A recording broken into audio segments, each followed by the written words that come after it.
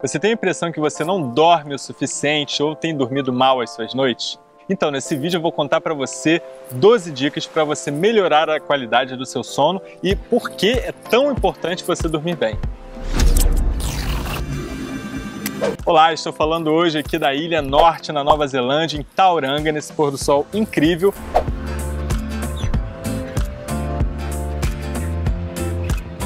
E resolvi parar aqui rapidinho para fazer esse vídeo e te ajudar a melhorar a sua qualidade de sono. Mas antes de ir para as dicas, lembre-se de se inscrever no canal, ativar as notificações para não perder nenhum vídeo no futuro. Então, eu li esse livro que se chama Why We Sleep, do Matthew Walker, um PhD que estudou por mais de 20 anos o sono e todas as implicações da nossa saúde. Ele analisou desde lá de trás a história do homem né, e como ele tratava o sono, que ficou muito diferente depois da industrialização. E acabou que a gente adquiriu uma série de hábitos super nocivos para a nossa qualidade de sono e o sono é uma das coisas principais para a nossa nossa longevidade, para nossa saúde. Se a gente não se atentar a isso, e o risco é que aos pouquinhos, sem muito perceber, a gente vai acabando com a nossa saúde de forma paliativa. Ele até descreve no livro como um processo de autodestruição próximo do que seria uma eutanásia para você mesmo. O livro é super denso, vem muito estudo, vem muita comprovação, mas aqui eu vou tentar resumir para vocês 12 dicas mais práticas que vão poder te ajudar a partir de amanhã a melhorar a qualidade do seu sono. Primeira dica, tente sempre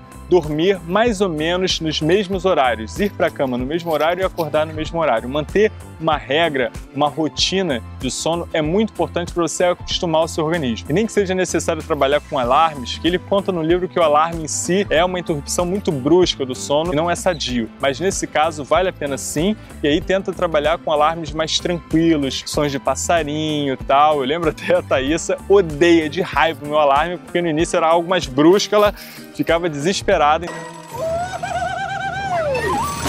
Então evita isso, evita o erro que eu cometi também. Tente trabalhar com sons mais tranquilos. Segunda dica, tente evitar exercícios próximo da hora que você for dormir, pelo menos duas a três horas antes de ir para a cama. Exercícios são muito importantes. Você deve sim se exercitar para que seu corpo ele possa repousar à noite. E o ideal é se exercitar em torno de 30 minutos a uma hora, 3 a 5 vezes por semana. Terceira dica, evite cafeína e nicotina, principalmente na segunda etapa do dia, porque o café e o cigarro, eles têm um efeito estimulante que duram até 8 horas. Então fica atento para aqueles cafezinhos no final do dia ou quando chega em casa, porque assim você talvez tenha mais dificuldade de ir para a cama tranquilamente. Quarto ponto, evite o consumo exagerado de álcool antes de dormir. Uma tacinha de vinho e tal no jantar funciona bem, até pode te relaxar, mas aí quando você perde a linha, tem uma série de problemas aí.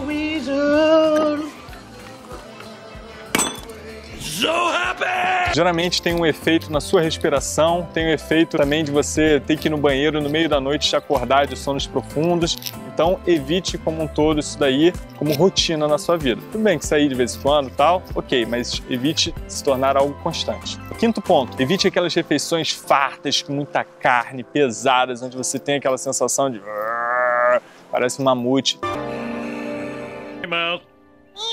Evite isso, vá para refeições mais leves, saladas, peixes, sopas, coisas assim que não atrapalhem a sua digestão. E a questão de muitos líquidos também vai te levar a ir para o banheiro no meio da noite atrapalhando seu sono. Sexto ponto, evite medicações para te ajudar a dormir. Geralmente eles têm um efeito na sua pressão arterial, no seu coração, asma, então várias coisas aí que você precisa estar atento para simplesmente não ir se automedicar. Se realmente for algo necessário, vá consultar com o seu médico, entenda a real necessidade e como você deve tomar isso daí. Sétimo ponto, se puder dar aquela dormidinha depois do almoço, sim, faça. 15 a 30 minutinhos já é mais do que suficiente. Ele conta que era uma prática do humano antes da Revolução Industrial de realmente ter um sono bifásico, maior período à noite, mas à tarde também, após o almoço, um repouso. Então é da nossa natureza. O problema é que a gente parou com esse hábito. Então se você tiver o privilégio de fazer isso, faça mas evite fazer depois das 3 horas, porque se você tirar essas sonecas depois das 3, isso pode influenciar muito para você voltar para o sono lá em torno das 9, 10 horas. Oitavo ponto, tente fazer coisas mais relaxantes antes de ir para a cama, como por exemplo uma leitura, ouvir uma música tranquila. Não tente fazer atividades estressantes ou que te exijam muita atenção e muita adrenalina antes de dormir. Nono ponto, tome um banho quente e relaxante, porque dessa forma você vai preparando o seu corpo e você vai entrando naquele estado mais de sonolência que vai te ajudar a dormir. Ponto 10. tenha cuidado especial com seu quarto. Tem vários elementos aqui. O primeiro deles é em relação à escuridão. Tente deixar o mais escuro possível, sem aquelas luzinhas da TV, do despertador, ou barulhinhos também do, do relógio, né? Tlec, tlec, tlec. Tudo isso são distrações que podem influenciar a sua qualidade de sono. A temperatura do quarto tem que estar agradável e, se possível, até abaixo da temperatura ali que você está acostumado, em torno de 17 a 23 graus, dependendo de onde você mora. Dê uma olhada também no seu colchão e no seu travesseiro para eles serem o mais confortáveis possíveis. E vale o investimento, porque lembre-se que você está dormindo todo dia nesse lugar, então ele deve ser o seu santuário. Dica 11. Tenha uma exposição diária de sol. Sempre que você puder, passe pelo menos 30 minutos na luz natural do sol, porque isso vai te ajudar também a regular o seu organismo. E o ideal é que você consiga acordar no horário onde o sol esteja nascendo. Dica 12. Se você não estiver conseguindo dormir na cama, não fique ali se remoendo, porque a frustração e a ansiedade de tentar dormir e não conseguir só vai piorar. Então levante, faça alguma atividade, faça alguma coisa ali rápido e quando começar a entrar no estado sonolento, vá para a cama novamente. Por exemplo, comece uma leitura, às vezes uma leitura bem chata vai te ajudar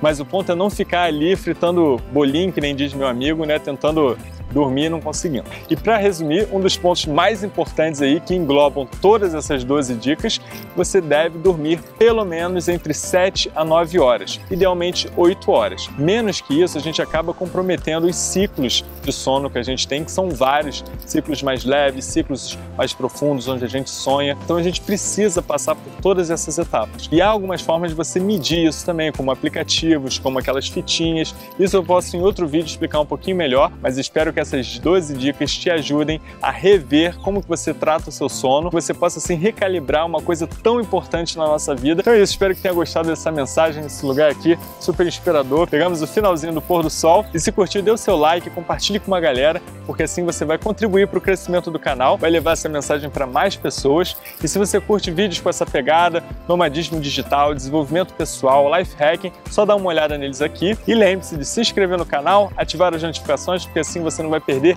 nenhum vídeo no futuro, beleza? Até a próxima!